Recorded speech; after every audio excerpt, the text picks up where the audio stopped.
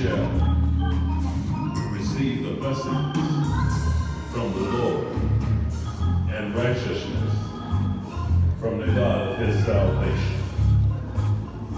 This is the generation of them that seek him, that seek thy face, O Jacob.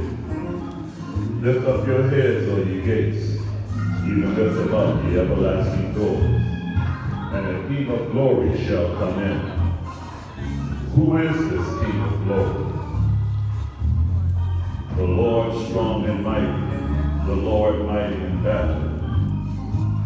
Lift up your heads, O ye gates, even lift them up, ye everlasting doors, and the King of glory shall come in.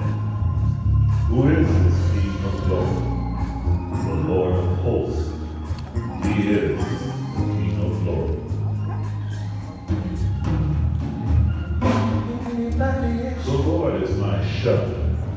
I shall not want. He maketh me to lie down in green pastures. He leadeth me beside the still waters.